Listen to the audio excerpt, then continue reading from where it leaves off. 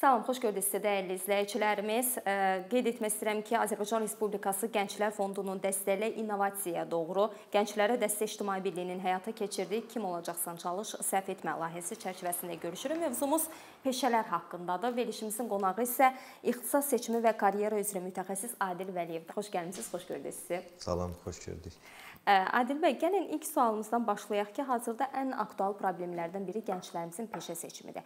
Ümumiyyətlə bu sahədə səhv etməmək üçün nə etmək lazımdır peşə seçimində? Mən ümumi bir məlumat vermək istəyirəm. Bizdə peşə seçimi təəssüf ki, həmişə ikinci pillədə qalır. Çünki valideynlər əsasən istəyir ki, övladları ali təhsil alsınlar və ona görə də demək olar illərdir peşə seçimi hər zaman ali təhsil almadan universitetə qəbul olmayan belə deyək abituriyentlərin, şagirdlərin daha sonrakı seçim şansı olaraq qalır hər zaman və təəssüf ki, bu barədə maarifləndirmə işləri də kifayət qədər çox olmadığından, yaxşı olmadığından həm valideynlərin məlumatı az olur, həm şagirdlərin məlumatı az olur və bu səbəbdən də e, düşünürəm ki, universitetə qəbul ola bilməyən bizim abituriyentlər peşə seçimindən çox attestatla xaricdə təhsil almağa üst tuturlar və yaxud da ki, növbəti il hazırlaşıb yenidən universitetdə təhsil almağa. Aha. Peşə seçimini özü etməyən gənc peşəkar ola bilərmi? Çox gözəl sualdır. Baxın, illərdir ixtisas seçimi eləyirəm və yanıma müxtəlif xassiyyətdə həm valideynlər gəlib, həm abituriyentlər gəlib. Bəzən çox yüksək bal toplayanlar, 600 üzəri bal toplayanlar belə abituriyentlər valideynlə bərabər gələndə mən maraqlanıram ki, hər zaman mütləq şəkildə konsultasiya edirik və konsultasiya zamanı maraqlanıram ki, həmin abituriyentin e, biliyindən əlavə bir bacarıqlarını da öyrənək və ona görə ixtisas seçimi eləyək. Bəzən görürük ki, valideynlər övladını e, danışmağa imkan vermir və onlar bildirirlər ki, mən istəyirəm ki, övladım məsələn hüquqşünas olsun və yaxud da istəyirəm bir həkim olsun. Müxtəlif e, vəzifə tələb eləyən demək olar ki, ixtisasları seçmək istəyirlər və maraqlananda görürük ki, həmin valideynin öz arzusudur və e, o arzuya özü çata bilmədiyi üçün övladını yönəldir. Ancaq e, hazırki dövr və gələcək dövr nəyi tələb eləyir? Ən çox biliklə bərabər bacarıq da tələb eləyir və ixtisas seçimini özü edə bilməyən, özü etməyən e, abituriyentlərin gələcəkdə, yəni tələbə həyatında da onların e, daha sonra ixtisas dəyişdiyini biz görürük və yaxud da məzun olduqdan sonra çox fərqli bir istiqamət üzrə öz peşələrini davam elətdirdiyini görürük.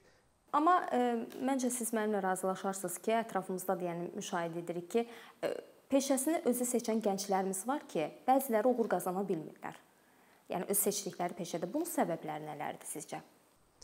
Ümumiyyətlə peşə seçimində, ixtisas seçimində siz ixtisasınızı və peşənizi seçməklə yanaşı mütləq şəkildə bacarıqlarınızı inkişaf etdirməlisiniz. Siz, siz hər hansı bir ixtisasın çox yaxşı bir mütəxəssis ola bilərsiniz.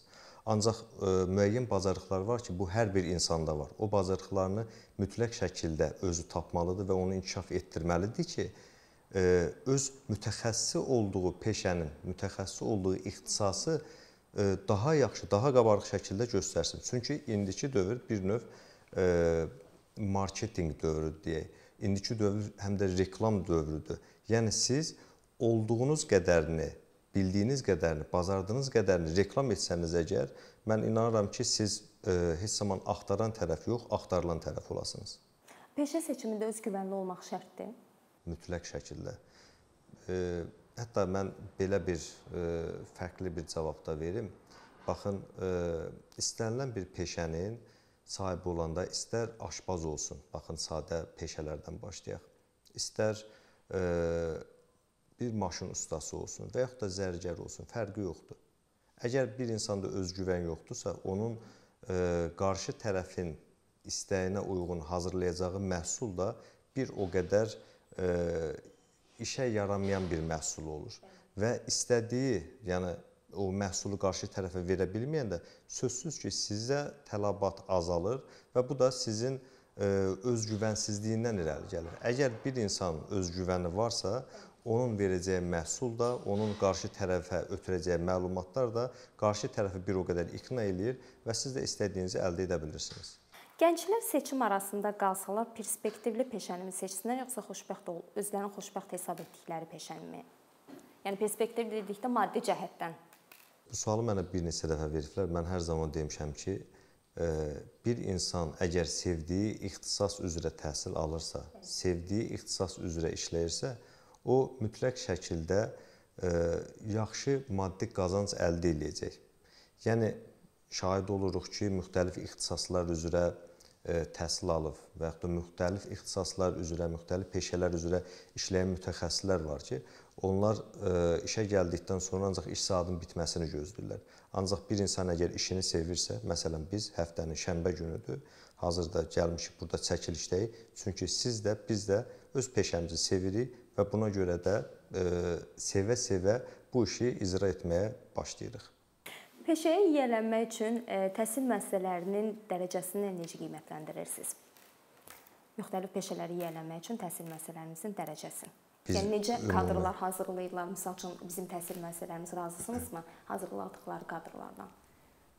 Əvvəlki dövrə baxanda hazırda peşə məktəblərində müəyyən islahatlar gedir və e, maddi texniki bazalarını yaxşılaşdırmağa çalışıblar. Ancaq bu o demək deyil ki, orada e, orada məzun olanlar e, yaxşı bir mütəxəssis olur.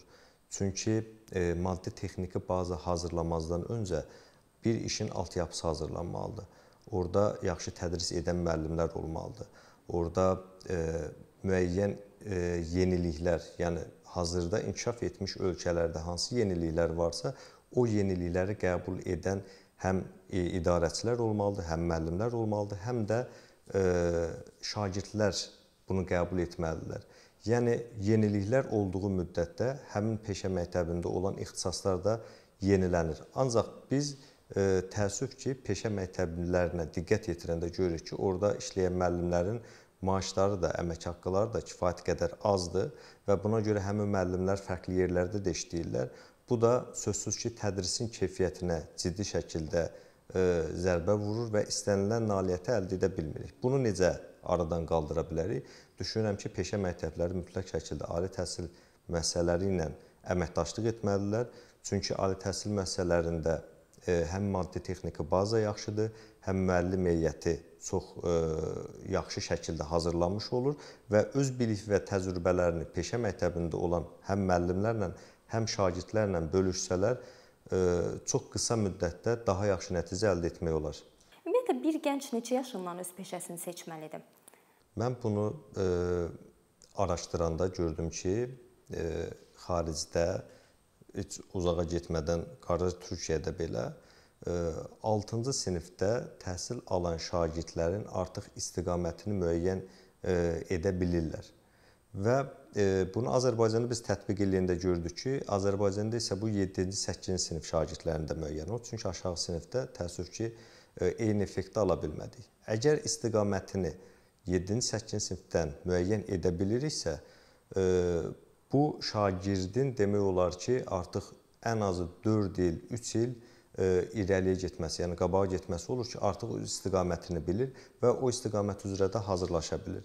İstər peşə məktəbi olsun, istər universitet hazırlığına hazırlaşan abituriyentlər olsun, artıq 7-ci və 8-ci sinifdən istiqamətlərini bildiyi üçün qarşılarına bir hədəf qoyurlar və bu hədəfə çatmaq üçün də onlar müəyyən güzəştlərdən demək olar ki, yararlanmağa çalışırlar.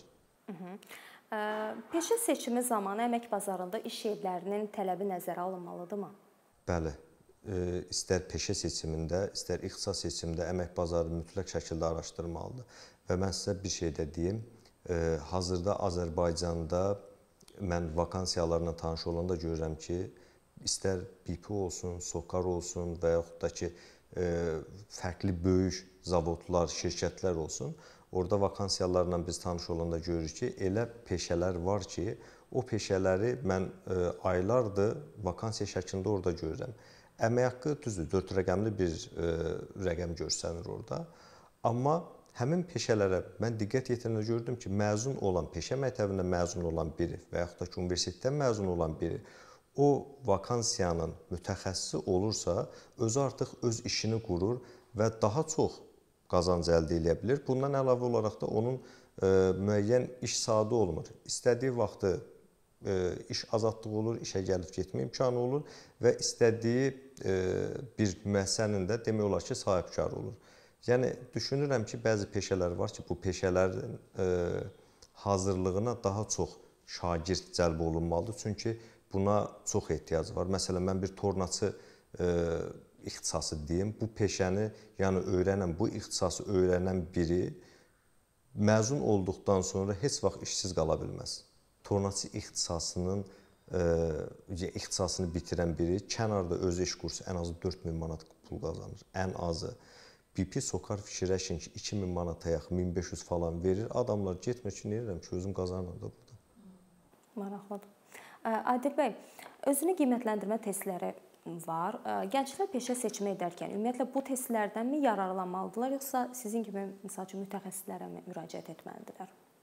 Hazırda müxtəlif testlər var ki, şagirdlər bundan istifadə etməyə çalışırlar və təəssüf ki, o testi etdikdən sonra çıxan nəticəni qəbul edirlər ki, bəli, mən bu ixtisas qrupu üzrə hazırlaşa bilərəm və yaxud da bu peşə üzrə hazırlaşa bilərəm.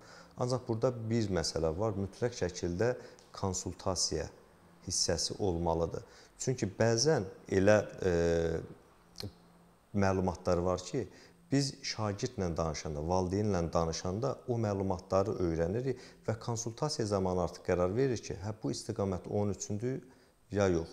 Çünki məsələn, ikinci və üçüncü qrupun demək olar ki, arasında çox cüzi bir fərq var e, və bəzən o testdən istifadə edən bir şagird nəticəyə baxanda elə bilir ki, o daha yaxşı bir müəllim ola bilər. Ancaq biz konsultasiya zamanı müəyyən edirik ki, bu müəllimdən çox hər hansı bir e, idarəçilik qabiliyyətinə malik ola bilər və yaxud da müəllim ola bilməz deyək ki, e, dövlət və e, ictimai münasibətlər ixtisası tam onun üçündür. Yaxşı bir idarəçi ola bilər. Və yaxud da ki, biznesin idarə edilməsi ixtisasını bitirib daha yaxşı e, öz sahəsində bir mütəxəssis ola bilər. Yəni mütləq şəkildə konsultasiya lazımdır. Çünki testlərin nəticəsi heç də bizə o şagirdin ə, e, nə bacardığını vermir. Necə ki, məsələn, Dövlət İmtahan Mərkəzində bəzən çox savadlı bir şagird olur, sürüşdürməklə az bal toplayır. Bu onun göstəricisi deyil. Bu tamamilə e, mən deyərdim ki, oxşan reallardır və mütləq şəkildə konsultasiya lazımdır. Bax, gənclərimiz universiteti bitirən kimi istəyirlər ki, xarici ölkələrdə təhsil alsınlar da. Və bəzi gənclərimiz olur ki, xaricdə də gedib təhsil alırlar. Bura qayıdanları da olur, orada qalanlar da olur. Buna səbəb nədir ki, yəni xarici axın daha çoxdur. Burada misal üçün qalıb iş tapmaqdamı çətinlik çəkəcəklər, yəni məvacib məsələsidirmi, yoxsa istədikləri təhsilimi daha yaxşı ala bilmirlər? Nədir ki, səbəb? Gənclərimiz daha çox xarici üstünlük tutur. Gənclərin xaricə üz tutmasının iki səbəbi var. Birincisi, Azərbaycanda universitetə qəbul ola bilmirlər, attestatdan xaricdə təhsil alırlar. İkincisi, onlar özlərinə bir hədəf qoyurlar ki, mən xaricdə təhsil almalıyam.